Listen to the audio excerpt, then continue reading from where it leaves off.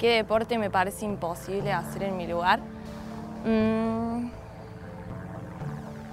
qué difícil. Seguro es en conjunto.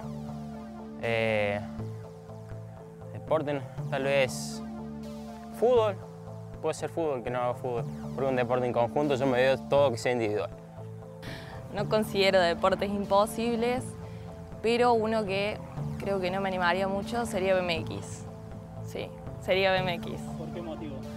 Porque por ahí hacen cosas bastante arriesgadas, sobre todo con el tema de las rampas, y no es mi fuerte ese. Prefiero lo llano. En mi lugar eh, no haría nunca rugby, por ejemplo, porque es un deporte de mayor impacto físico y no me siento tan preparada como para ese tipo de actividad.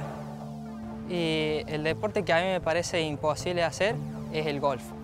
Eh, he probado una vez en una exposición rural de acá y traté de pegar la pelota y no, malísimo, así que creo que para el golf no andaría. Y deporte imposible podría ser hockey y algo de acrobacia o, o tela, ya que no, no, no lo he practicado nunca.